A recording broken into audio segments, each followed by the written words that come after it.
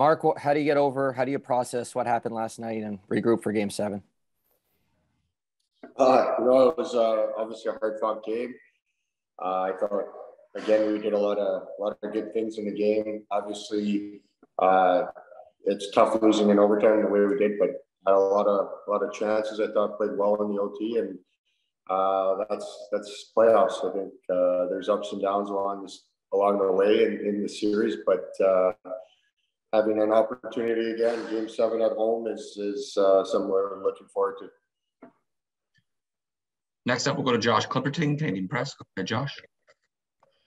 Hey, Mark, you were uh, just finishing your OHL back in 2004. I'm just wondering if you remember uh, Game Seven, Leafs Sens, when Joe Nieuwendyk put two past Patrick Lalime. Do you remember watching that game? Do you remember the last Game Seven with fans in Toronto? Yeah, I remember. I remember uh, bits and parts of it. Uh, uh, just being a huge fan at the time, obviously uh, seeing the atmosphere in the city and, and uh, in the rinks. So it's it's uh, it's a huge opportunity for us to be a part of that as players, and uh, uh, it's been great so far. It's been uh, it's it's like every playoffs. I mean, there's there's ups, there's downs, but now we have you know one game where it's all on the line. So it's a it's a great thing to be a part of. Next up, we'll go to Pierre LeBrun with the Athletic. Go ahead, Pierre. Thanks for doing this, Mark. Um, this is a team obviously trying to uh, to get over the hump.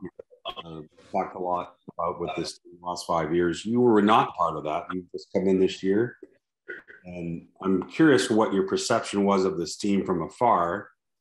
Uh, again, with some of the playoff baggage in mind, and now that you're part of it and in the room, in the fight, perhaps what you know about this team. Well, I think, yeah, from from the outside, you obviously watch watch this team they're obviously uh, from watching these guys play over the past few years, obviously tremendous uh, talent here. A great team, always always uh, you know near the top of the standings. And uh, since I've been here, I've just been really impressed with the the demeanor of the group. I think uh, our top guys are leading the way, um, having big nights for us. About last night again. Uh, you know, Johnny Johnny sort of took the lead there and, and uh, got us the lead in the second and we played a played a really really good game. I think tons of looks in overtime. Um, you know, played played really well. It Was back and forth there for a bit, but I thought uh, if, you went chances wise, we, we probably had a few more chances than in overtime. But that's the way the game works. But no, just a great group of guys here, and, and uh, you can tell they have a everyone in our room has that drive to win, and, and uh, the guys are playing well. We just got to be confident that in a one game uh, do or die game where we have the ability to, to take it home. Next up, we'll go to Jonas Siegel with the Athletic. Go ahead, Jonas. Hey, Mark, you mentioned some of those top guys. I'm wondering what you've noticed from Auston, William, John, Mitch in, these last couple games.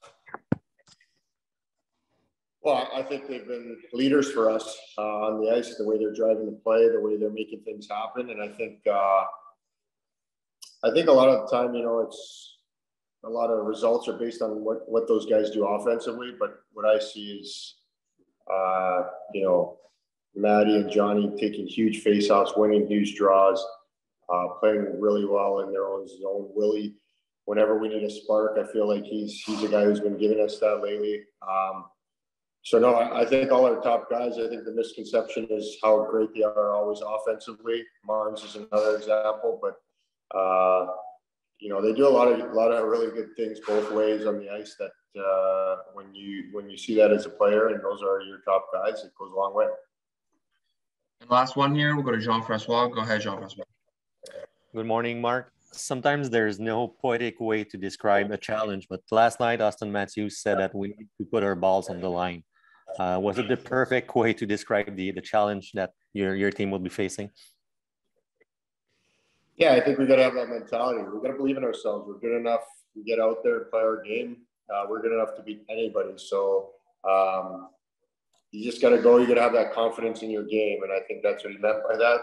Um, we're definitely, obviously, after an overtime loss right after the game, it's it's tough. Uh, you're a little bit down, but today you wake up. There's a new day. Uh, we'll get back home, and and tomorrow's going to be a really exciting day. It's going to be hard to to to have your pregame nap and all that because you're going to be so excited. But that's a good thing. That means uh, you care and um, looking really looking forward to playing in that game. It's going to be a, uh, an amazing atmosphere for sure.